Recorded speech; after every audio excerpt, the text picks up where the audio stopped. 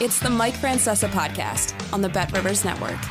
Hello again, everybody, and welcome to the Mike Francesa podcast as we wrap up divisional weekend and look ahead to the Final Four, to Championship Sunday next week, where it will be Kansas City at Baltimore, followed by Detroit at San Francisco. So both number one seeds are here.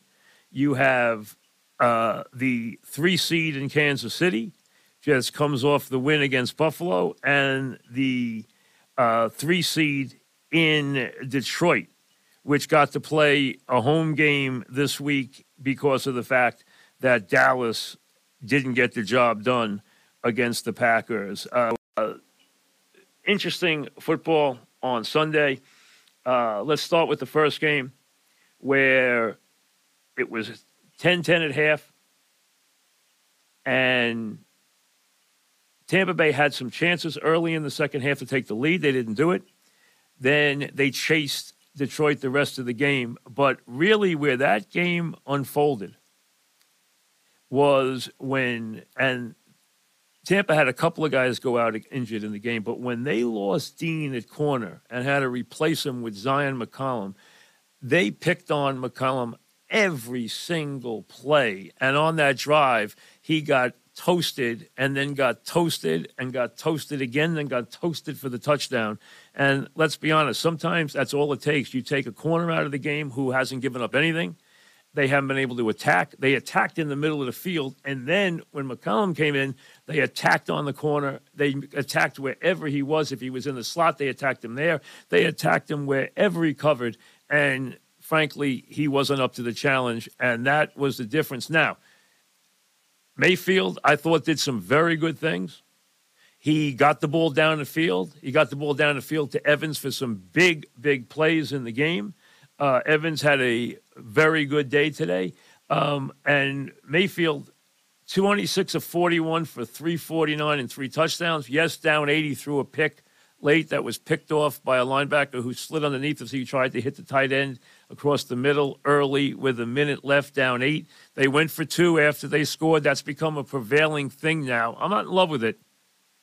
But I tell you, they I, I, I get the premise of it, but that's happened a lot now. When you're down 14 and you score, you go for two there, and then you, if you score, you're only down six. It's about a 55% play to get the two point conversion. So they figure you don't get it the first time, you get it the second time. I understand that's playing into uh, the new math, playing into the new way people think about things. But the bottom line is, uh, we can debate that.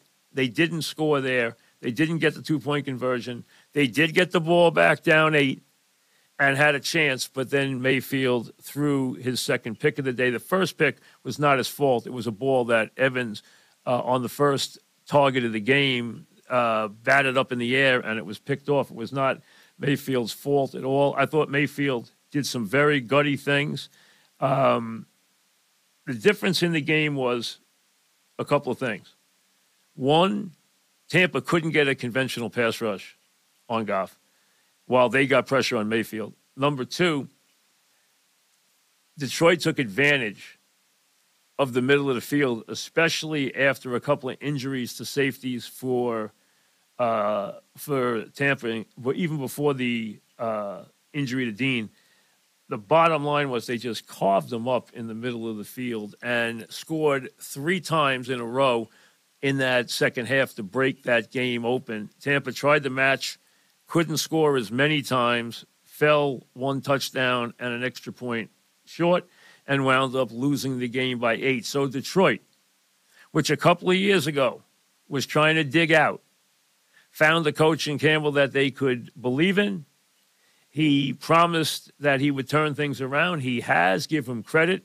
Now they get to play a championship game. They're a touchdown underdog to San Francisco, as you would expect. And they won't be expected to go out there, but hey, here's Detroit, which has been anything but a fixture in the postseason. They have been a stranger to the postseason. Here they are after two wins at home with their fans going absolutely berserk. Now they get a chance to play in the NFC title game and get to dream the dream that they are one game away. It's going to be a tough game. Now, they're going to have some positive thoughts because, let's be honest, Green Bay outplayed San Francisco last night. Green Bay should have beaten San Francisco. They missed a 41 yard field goal, which came back to haunt them, and San Francisco got the late touchdown. But let's be honest Green Bay could have easily won that game.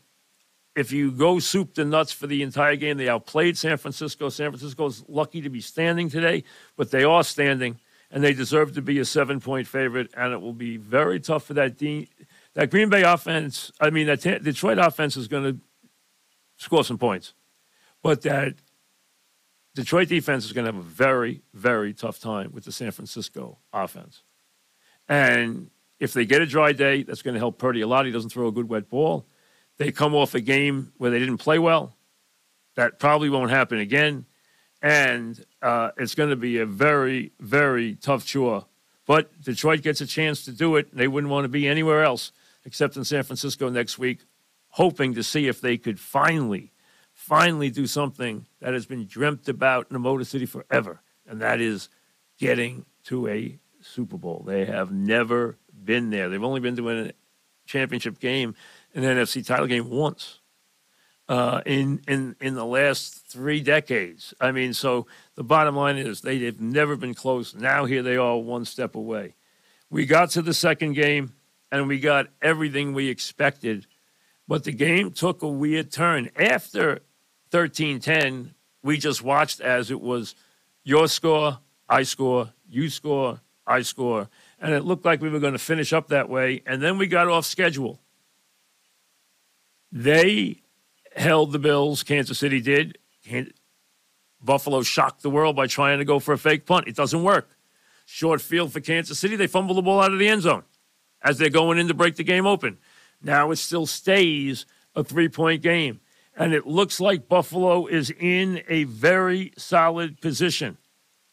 Two minutes left they're in field goal range, and you're figuring, okay, they can maybe get this game down inside the 10 yard line where you have to deal with Allen running the ball in, which he's done two times already in the game today, and where they have the game tying touchdown will send the game into overtime in their back pocket. You're going to have to watch to see if Kansas City is going to call timeouts and leave some time on the clock to give them a chance either at 27 up or if Buffalo scores, a chance to get back and see if they can pull off a miracle. The bottom line is it was puzzling from there. I was very surprised by the plays that the Bills ran. Okay, I really was. They got the first down. On third down, he gets the first down. And then they run the ball. Okay, you understand that. They ran the ball at 242. And then they say, we're taking it to the two minute warning. Kansas City allows them to take it to the two minute warning. Now it is second and nine on the 26 yard line. All right? 43, 44 yard field goal right there. Makeable? Yes. Automatic in this weather? No. Automatic with their kicker? No. Before the game, we touched on three things Buffalo's banged up defense, Edge Reid over the Buffalo coaching staff, Edge Kansas City kicking game big over the Buffalo kicking game, which last week had a kick blocked that kept Pittsburgh in the game. Missed a chip shot field goal late in the game on three tries, and then lines up for a 44 yarder. Their coaching staff said, hey, he will make it. Bass will make it when he has to make it.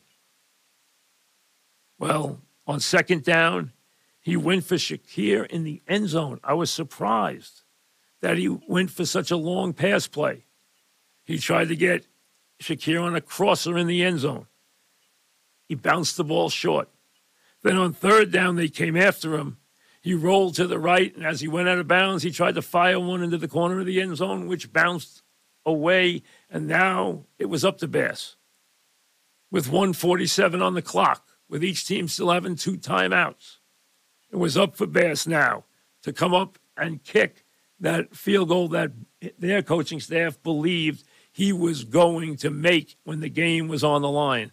And they watched as it sailed right, and with it sailed their dreams. Now, they weren't dead yet because they had two timeouts. So Kansas City was going to have to get a first down or kick the ball back. And that hard running Pacheco who had a 97 yard day on the ground today, 15 carries for 97. That's six and a half a carry if you're keeping score. He got eight yards. Buffalo called timeout knowing that they were probably done. Pacheco rammed the next one up the middle for three. And Buffalo started to realize that their chance to go to the AFC title game and beat the Chiefs was going to have to wait for another year. This confrontation with these two teams, which is so close, I talked about it before the game. Five, I thought if they played 10 times, it'd be 5 5. Hey, at one point in their last six games, they were tied 179, 179 in points. They can't be any closer. Every game seems to come down to the last second or the last play. This time it comes down to a missed field goal and then running out the clock. And Kansas City, which is now built a dynasty under Andy Reid, is back in the AFC title game and one step away from a fourth Super Bowl visit in the Reid era. They've won two out of three. They are defending champs and now they are a trip to Baltimore away from going to another Super Bowl where they will see either San Francisco or Detroit if they're able to keep Jackson and the Ravens out of the Super Bowl. Now, the Ravens ran the ball yesterday for 230 yards. A lot of that in the second half as they completely dominated the second half of the game yesterday against Houston. Today, Buffalo ran the ball well on the Bills, especially, especially in the first half. The Bills did a much better job against it in the second half, but the Bills rushed for 182 yards today. But Kansas City rushed for 146 against that beat up defense. Now, I never saw a game more than guys going to the sideline after every play. It seemed like a player was getting injured or banged up on almost every play in the game today, whether it was offensive guys, defensive guys. It seemed like a conveyor belt The guys going down, play after play after play. Everybody who got tackled got seemed to get up slowly. Everybody was holding something. Everybody seemed to be hurt. But these two terrific teams led by brilliant quarterbacks. Mahomes has had the better of these games. He obviously already has two rings. He's undefeated in this round. He's now won a playoff game on the road. He did play that game in Tampa, which was, you want to call it a home neutral. It's not exactly a home game, but this was his first legitimate home game in the AFC playoffs, and he wins it. He had a solid day today, not a brilliant day, but Kansas City often does enough. Today, they got a performance like they used to get out of Kelce five catches, 75 yards, two touchdowns. They got some big catches out of Rice. They got a couple of big catches out of Valdes-Scantling, who has dropped the ball so many times this year. They got 97 yards out of Pacheco on 15 carries. They got 31 yards out of Edwards-Helaire on two carries and a couple of good plays from him in blitz pickup. They got some plays on defense when they were banged up. Gay went out hurt. Edwards went out hurt. At different times, different players went out hurt and came back in. They got banged up a little bit in this game today, and they were pushed by this Buffalo team. and by the running Josh Allen, who today ran in the first half for big yardage. He ran for 51 yards and two touchdowns in the first half. He wound up with 72. He didn't kill them with the running game in the second half. They didn't kill the Chiefs with the running game in the second half. And the Chief defense stiffened in the final 10 minutes of the game. And it stiffened on that final drive where they could have easily lost. They were one play away from losing command of that game and maybe losing that game. Allen had Diggs underneath on second down when he went for Shakir in the end zone. He had Allen on a crosser. He had Diggs on a crosser that would have been good for 10 or 15 yards and a first down and made it a very much a chip shot field goal. This was not a chip shot field goal they wound up with. They took two throws deep. The first one, they were looking to score. The second one was kind of out of desperation and was going nowhere. It was just to make sure that he didn't get sacked and make the field goal impossible. Now, in this league, wind, no wind, cold, no cold, you're supposed to make a 44 yard field goal with your team three points behind in a playoff game. If you don't do that, you're going to spend the offseason with your head down and basically apologizing to your teammates because your job is to make that field goal. They didn't ask you to make a 55 yarder, they asked you to make a 44 yarder. And in this era of the NFL, 44 yard field goals are supposed to get made no matter what the conditions are. That is a miss that can't happen. But a miss it was, followed up by the Chiefs getting 11 yards when they needed 10 out of Pacheco. And the Kansas City Chiefs, who have become fixtures in these AFC playoffs year after year after year. What Andy Reid and Mahomes have carved out has been brilliant. It follows the Patriot dynasty, but it is it is nothing short now of a dynasty year after year after year. And if it tacks a third Super Bowl championship on that resume, it would be one of the impressive, impressive runs in NFL history.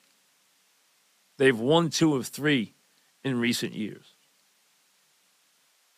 And another trip would be very special. Hey, they have a tough game to win next week. There's no question about it. Baltimore and their quarterback have waited a long time for this.